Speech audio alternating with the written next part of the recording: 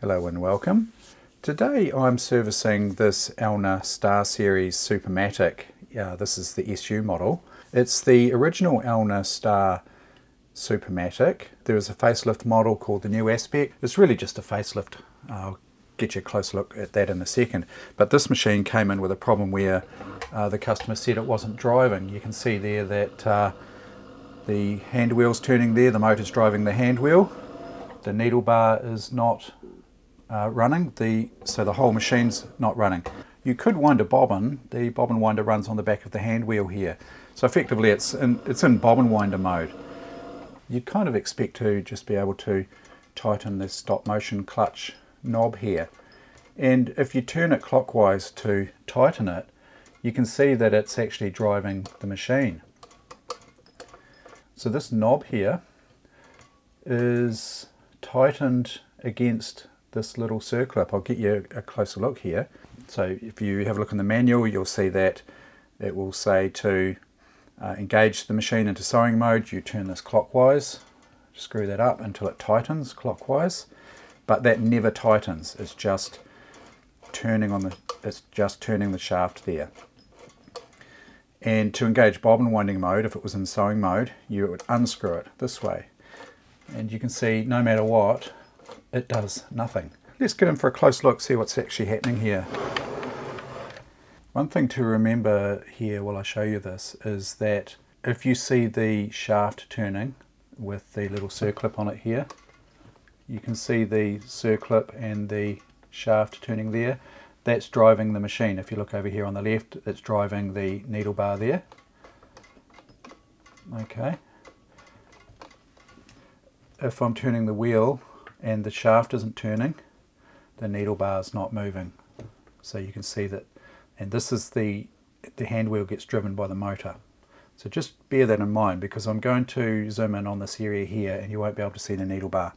You can see here that when I turn this, as I showed you before, no matter which way I turn this, uh, the machine is driving. See the shaft turning there with the circlip there, turning even uh, tightening, loosening, nothing, and it never ever seems to uh, engage the machine properly. You can see the hand wheel there. And you'll see there's a little bit of play there as well, but that's, that's quite normal, that's by design. So effectively what's happened here is this knob here, which is threaded on the shaft here, has been undone too far and is actually clamping up against the circlip here. So if I hold the machine and stop it from turning, you can see that now that I've got this free, that the hand wheel is still disengaged. But if I tighten this, so just remember tighten is righty-tighty and loosen is lefty-loosey. One way of remembering it. But clockwise to tighten.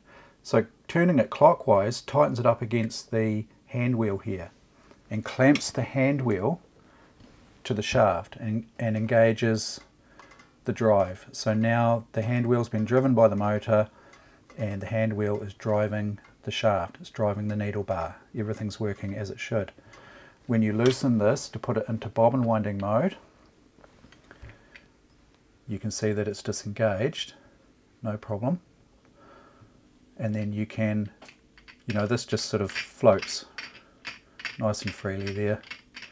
Don't worry about that circlip moving. That's not actually moving the shaft. It's just spinning around the uh, little groove on the shaft there. So tighten it up. No problem. Loosen it. No problem at all. So what's actually happened is that this has been unscrewed so far that it's tightened up against the circlip here. So until you tighten this here, so we'll go right, you know, turn it clockwise to tighten it against the hand wheel. What that does is it loosens it from the circlip here. So effectively the clutch is working in reverse. It's um, instead of tightening against the hand wheel, it's tightened against the circlip. And you don't want that. The only way it can really happen is if you uh, use a little bit of uh, inertia so that's uh, loose there again. I've just held the machine and loosened it there, so it's nice and loose. But if you unscrew this too far and you just put a little bit of inertia there, and just the weight of the, uh, you know, the workings of the machine allows this to tighten against here. It's loose against, as I say, it's loose against here, but it's tight against here. So effectively, you know, that's that's pretty much it. To sort this problem out, all I really had to do was hold, you know, stop the actual machine from turning. You can see that that's driving the uh, take-up lever down here, and the needles, needle bars going up and down. All I really had to do was hold this, stop this from turning, and tighten this. And effectively it loosened it off the circlip here. So once this is free again, you know, just nice and free, you can use it normally, just uh, tighten, tighten that up against the hand wheel there. And as long as you don't, I mean, you can loosen it as far as it'll go, but generally you can tighten it back up again without having to hold the machine back. But if this is jammed out against there, hard like that, and you, nothing you can do, just hold this or hold you can hold the um, needle bar stop the needle bar from turning you know if you don't have the lid off what you can do is you can stop the needle bar from moving there and just tighten so that that loosens off the circlip and then you can go ahead and tighten it up onto the hand wheel there just like that. Yeah so just a quick one. I thought I'd show you that. It's a uh, little bit of a problem with this style the older style of um, Elna Star Series Supermatics. Uh, now I'll give you a quick look at the new aspect and we'll see what they changed there because obviously it was a, a little bit of an issue. Just before we have a look at the stop motion clutch on the new aspect machine, you can see the differences here if we just compare the knob here. This is the new aspect machine, so it's a later model. This is the early original aspect here. You can see that the dial here is a different type of dial. The old one's sort of um, got a slightly sunken in face there with a gold band around there and um, different sort of knurling if you like on the on the knob there whereas the new aspect's got this sort of uh, silvery plate smooth plate here with different knurling on the on the handle here. And you'll see also that the knob here for controlling the zigzag this one here is more like a vertical sort of knob here you know. You can turn for buttonhole and your zigzag functions there. Whereas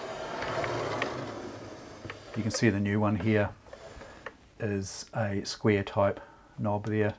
Just small difference, just facelift um, modifications really. And the tension dial, similar sort of uh, thing to the stitch length dial there on the new aspect. You can see it there on the old aspect slightly different. So if we have a look on the new aspect model, you can see that the stop motion knob here looks quite different and it doesn't suffer from this problem because they removed the circlip and they are using a little stopper mechanism so the screw screws right through into the back of this knob here and then there's a stopper little nub that stops this from loosening too far it actually hits a stopper there it's quite a positive. So it can never loosen too far for this knob to come right off and it can never loosen far to tighten up on a on a circlip. So they uh, you can see there it doesn't have the circlip. But yeah, that um, sorts that problem out. So obviously, you know, there was a known sort of issue there with the older machine. So that's it pretty much for this one. Just a quick one there to show you how you can sort out the problem with the stop motion clutch uh, here if it doesn't re-engage on the older style Elna Supermatic Star Series. So yep, hope you found that helpful and as always, thank you very much to my patrons on Patreon. If you'd like to help support the channel, please take a look at patreon.com forward slash sewing machines and thank you very much for watching.